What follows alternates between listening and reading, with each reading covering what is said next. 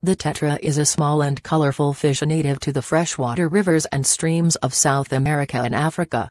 The tetra is one of the most well-known and popular freshwater tropical fish kept in tanks and aquariums all around the world. There are around 150 known species of the tetra fish native to the clearwater streams and slow-moving rivers of both Africa South America. There are more than 100 different species of the tetra in Africa alone and even more in South America.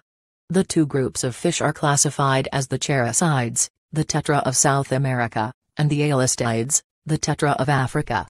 Tetras are very commonly found in aquariums around the world and due to the hardiness of the tetra, they are easy fish to keep.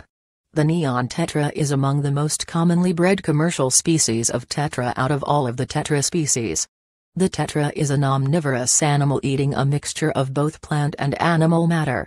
The tetra primarily feeds on algae and brine shrimp and picks out the larger food particles that are part of the plankton in the water.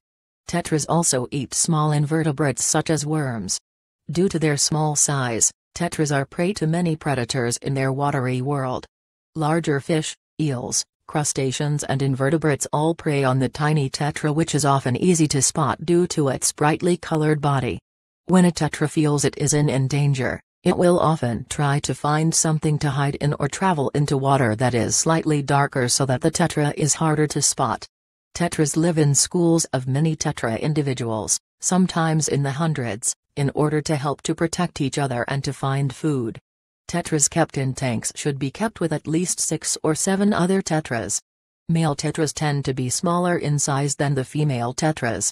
Tetras breed in pairs that spawn together for about a year, Female tetras lay an average of 130 eggs usually on a leaf in the water, which are then fertilized by the male tetra. The baby tetra are called fry and hatch within a couple of days.